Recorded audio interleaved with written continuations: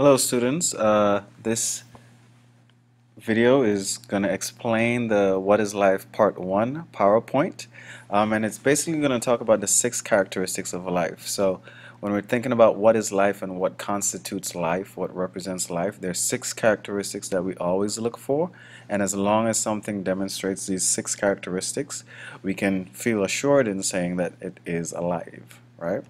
So the six characteristics of life which is something that you should know uh, we have cellular organization, chemicals of life, energy use, growth and development, response to surroundings, and reproduction. These six things are what we call the six characteristics of life. Oh, and I forgot to mention, at any point feel free to pause your video and take notes or uh, write notes as you see fit or rewind the video to replay something.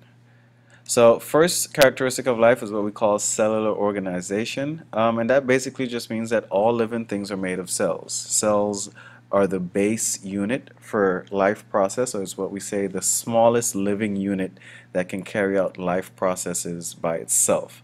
So some things are just one cell like this picture right here it's an amoeba that is just one cell what we call unicellular and some things are multicellular which means they have multiple cells alright uh, and again, like I just said, single cell organisms are what we call unicellular and they actually make up most of the organisms on earth. And then in that one cell they will have everything that they need to be self-sufficient and survive. So they'll have everything they need for movement getting food transportation breathing all of those things all in one cell. And then you have some items you like humans plants and most and some animals that are what we call multicellular. So in multicellular organisms, those organisms have specific cells to do specific jobs. So you'll have bone cells, um, skin cells, muscle cells, root cells. So each cell in a multicellular organ organism will have a specific job. So here we show some examples of some different types of cells. We have smooth muscle cells, leaf cells over here, red blood cells, and a yeast cell and this is what a nerve cell looks like. Second characteristic of life is what we call chemicals of life and all that means is that all living things are going to be made up of certain chemicals. So these particular chemicals, what we call organic chemicals, are definitely found in all living things. So you have water, carbohydrates, and your carbs are used for energy, um, proteins, lipids, and nucleic acids. Lipids are like fat cells, proteins are protein which you know we use for energy and building of muscle, um, and then nucleic acids definitely help create DNA. And this is an example of a cell membrane that just shows um, lipids that are used for the building block of the cell membrane. And when we get to actual cells, our cells unit, you'll see that the cell membrane is what borders every single cell. Alright, so the next characteristic is energy use. All living things use energy. Um, the sun is going to be our main source of energy, uh, but all living things are going to have to get energy from some source. So for plants, uh, they get energy from the sun, and the process that's used to convert energy from the sun into food for plants is called photosynthesis. Um, and then we in turn, or humans and other animals, eat plants and we get energy from the food that we eat. So you have things that make their own energy, like plants, which we call autotrophs, and things that consume energy or get energy by eating other things, which we call heterotrophs. Alright, so plants, which are producers, they trap energy through the process of photosynthesis, and that's how they make their energy. Um, consumers, we get our energy from eating other plants, or eating plants, or eating other animals. Alright.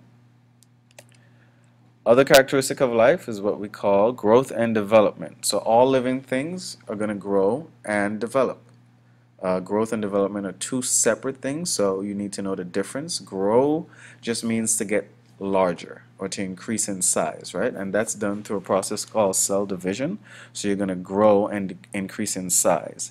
Develop means to become more complex or to mature. So when you're a baby, um, compared to now that you're a, a, teenager, you have developed, you have become more complex. So growth and development are two things. Growth just relates to sheer size.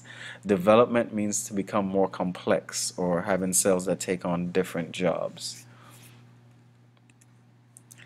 Fifth characteristic of life is what we call response to surroundings. So all living things are going to respond to their surroundings. It's kind of what we call stimulus and response, right? A stimulus is single. The plural form of stimulus is what we call stimuli.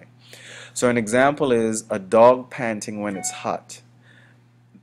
The stimulus is going to be the environment being hot and the response is going to be the dog panting. This is another example. If the pupil of your eyes dilate or get larger in lower light, so when you go into lower light, your eye pupils get larger so to allow light to get in. So the stimulus or the thing causing the response is going to be that lower light. The eye, the pupil of your eye dilating, that's going to be the response. All right. Human sweating when the body gets too hot, again, that's a response and stimulus. So the stimulus is going to be temperature getting too hot, and the response is going to be your body perspiring or releasing sweat. All right. So all living things are going to respond to some type of stimulus this is another example. So living things can respond to immediate and long-term changes in their environment and sometimes they can respond to short-term changes, right? So if we're looking at this fox or this plant, this plant as if light is put in one corner of the room, that plant is going to grow towards the light. So if you notice this plant is curving, over time it's going to turn towards that light.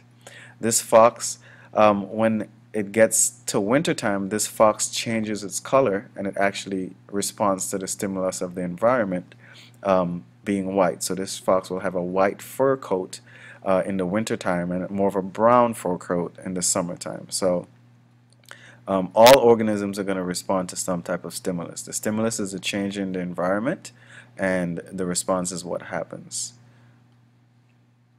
So for example, when it gets cold outside, you get goosebumps. The stimulus is going to be it getting cold outside, and you getting goosebumps is going to be the response. The last characteristic of life, all living things are going to reproduce. So all living things have some form of reproduction or anything that is what we call alive or life has some form of reproduction um, and is going to produce a, offspring that's either similar to the original or an exact copy of the original depending on what type of offspring it's using right reproduction is necessary in order for that species to survive so all living things are going to reproduce um, and as we get deeper into this you'll learn that some things are have what we call sexual reproduction or asexual reproduction and we'll talk about that a little bit later um, in the unit. So again, the six characteristics of life, cellular organization, all things are made of cells, all living things are made of cells. Chemicals of life, all living things have certain chemicals and we listed those chemicals on that slide. Energy use, all living things are going to use energy and whether that be they're making their own energy from the sun or gathering their energy from eating something else, all living things have to use energy.